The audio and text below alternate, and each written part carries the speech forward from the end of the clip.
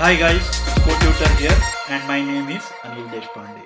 In the previous video, what we have basically done is we have defined the result receiver and then we have also written the code to what we should do once you get the address from the result receiver. And we also wrote the code to start the intent service. And we all did this in the activity. Now the remaining part is to actually start an intent service and get the address from the geocoder. So let's get into a demo. So this is the address fetcher service and this is what we will be implementing. So we will be receiving location here and we will also be receiving the result receiver. So we need to maintain two instance variables. So let me create private result receiver and then let me create a private location or let me call it as device location and then in the on handle intent we need to get hold of the result receiver. This we can get it from the intent. That is intent dot get parcelable extra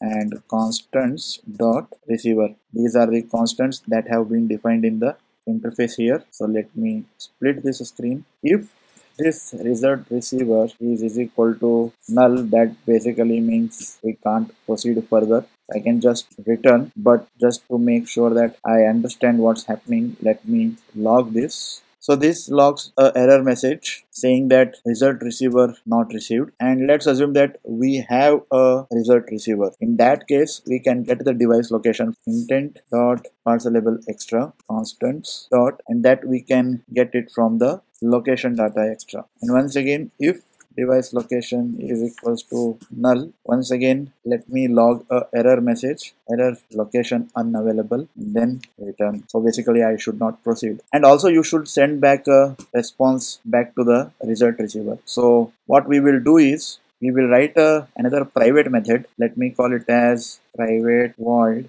respond with result. And it will contain a result code and result message. We will be reusing this everywhere. So here what we will do is we will create a bundle and to this bundle we put a string and the key is result data key. That is constants result data key and the result message. And then whatever the result receiver that we have we will use that instance variable and then send the first argument is result code which we have got here and then bundle. And this will send the result back to the result receiver in the main activity. So we can use this method here respond with result. And here since we don't have the device location it will be error code. So constants failure result. And then I can basically send the error saying that the location is unavailable.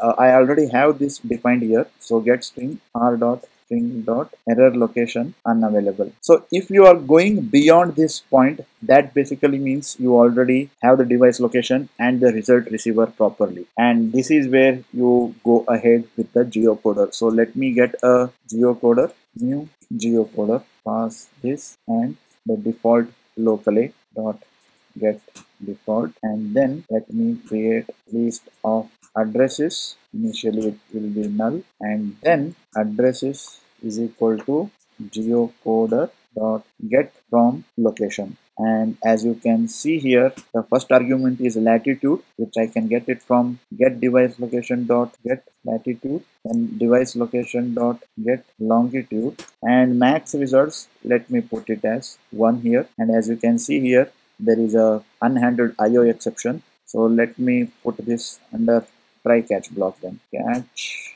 IO exception. Here if address is not equal to null and address dot size equal to 0 no no what I mean to say is if address is equal to null and address size is equal to 0 that is basically error message. And else we have to basically process the address further. Let me log here tag get string r dot string dot error address unavailable and respond with basically failure. That is constants dot failure result. And once again I will send the same string as the second argument. And I will have to basically return. Else we will have to fetch the address from the whatever the address list that we have. Well to do that let me create a string builder. Call it as address string. I'm using the string builder because it will be easy to append the strings that I will be passing from the address array address list I mean. So let me get as address sample address. Or what I can do is let me refactor this and call it as addresses because it is a list. And here let me call it as address is equal to addresses dot get 0 because I am expecting only one single result. And then for int i equals to 0 i is less than address dot get max line index that is how many lines are there in the address and then i plus plus address string dot append address dot get address line i. So that should give me all the addresses and then just append it with multiple line characters if there are multiple lines here and then finally I will once again use respond with result. And here I will say constants dot success result and address string dot to string. And that will send the address back to the main activity. And when I received in the main activity here if you observe I check what is the result code. And if it is a success I fetch the location address from the result data update it in the text view and set the is address requested to false and then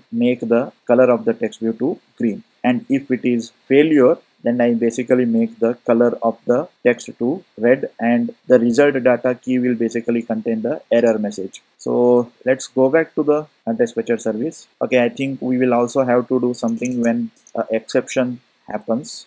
Let me log this get string r dot string. There is a string error exception while getting address. I will log that. And once again respond result with failure result. But this time I will use this exception error message. And that's it. We are basically done with our implementation. So just if we run this so as you can see that it is basically now loading the map. And now it has recognized the location and now let me click on the button and when I click on the button it gets the address and it happens pretty seamlessly so what I suggest is you download this particular code debug it to basically understand the flow of the logic between the activity and the address fetcher service. With this, I end the reverse geocoding topic and in the next video when we meet on building location aware apps, I'll be talking about something new. So stay tuned. That brings us to the end of this particular video. Don't forget to like,